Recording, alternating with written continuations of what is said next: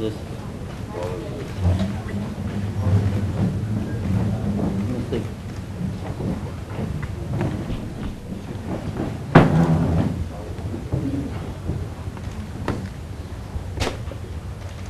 Հարգելի գործընկերներ, այսօրվա մեր հանդիպման նպատակն է ձեր ձեզ ներկայացնել նորանշանակ նախարար պարոն Բեգլարյան։ Տեղյակ եք, որ ազգային ժողովի ընտրություններից հետո սահմանադրության 74-րդ դրացի պահանջների համապատասխան ձևավորվում է նոր կառավարություն, որը ազգային ժողովին է ներկայացնում իր ծրագիրը։ Եվ ընտրությունների արդյունքում տեղի են ունեցել փոփոխություններ,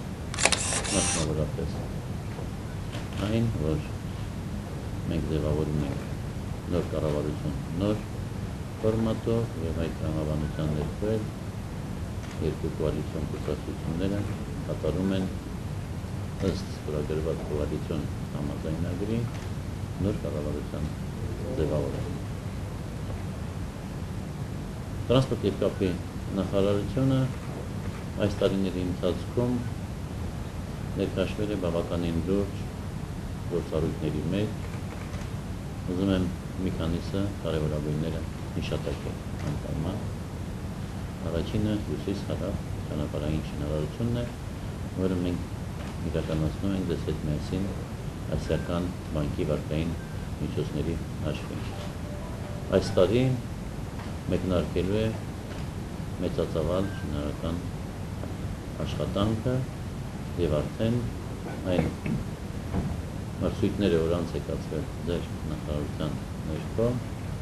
հայտ են բերել խոշոր եվրոպական կազմակերպությունների, որոնք առաջի անգամ Հայաստանի Հանրապետությունում կառուցելու են եվրոպական լավագույն չափանիշներին համապատասխանող ճանապարհ։ Երկրորդ կարևորագույն գործառույթը դա համագործակցությունն է համաշխարհային բանկի հետ,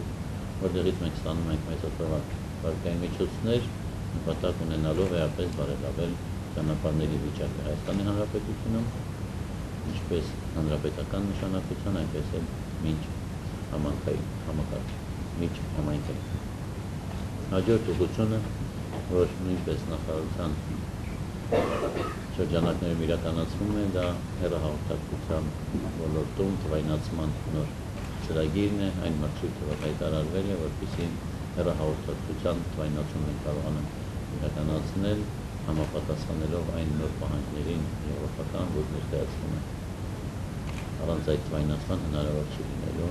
իհարկե ապահովել որակյալ հեռարձակում։ Կարելի է թվարկել մնացած ծրագրերը եւս, որ նախարարության ներկային գտնվում, բայց ես սահմանափակում եմ դրանով, որովհետև սրանք այն խոշոր ծրագրերն են, որոնք Հայաստանի մասշտաբով ունենալու են էական ազդեցություն բոլոր մեր ցուցանիշների վրա։ Այդ առումով ուզում եմ շնորհակալություն հայտնել Մանուկ Վարդանյանին կատարած աշխատանքի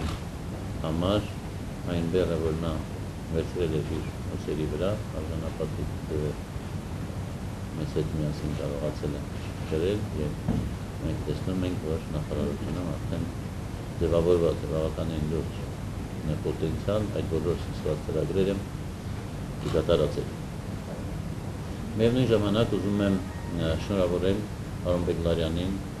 նախարարի կարգոնում նշանակվելու կապակցությամբ եւ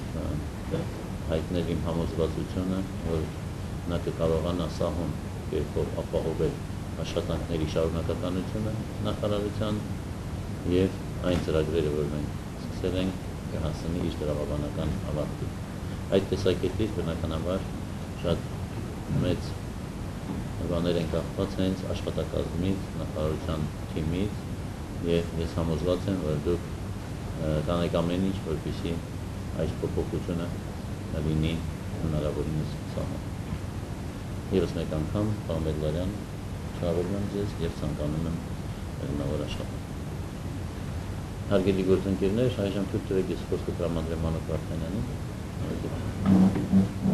Պարոն վարչապետ, հարգելի գործընկերներ, ես առաջարկում եմ շնորհակալություն հանրապետության նախագահին, պարոն վարչապետ, շատ ճանաչ առաջադրելու եւ վստահելու որպես պետարար երկու տարի 3 ամիս նախարարությունը, Կարդը նշեցիք մեր ծրագրերական նախարարությունում, դրանք կամ սկիզբը դրված է, կամ ավարտան փուլում են գտնվում, եւ այդ բոլորը պարոնաչափետ արվել է նաեւ աշխատակազմի միջոցով։ որ աշխատակազմը համ ունակ է, համ ցանկություն է դրոցի ավարտային հասնելը։ Պարոն Բեգյան, ձեզ ուզում շնորհակալություն եկան, շնորհավորել, որպեսզի վստահ լինելով, որ դուք ավարտի հասնեք այդ գործը։ Ցանկանում եմ Իմ գործընկերներից ես ուզում ներողություն խնդրել, որոշ դեպքերի մի քիչ կոշտ ու պահանջկությունների համար ես միշտ հասանն եմ բոլորի համար ցանկության դեպքում կարող եք կապնել։ եմ։ Շնորհակալություն, պարոն Վարդապետ։ Ես ուզում շնորհակալություն ասել մեր գուսակցությանը,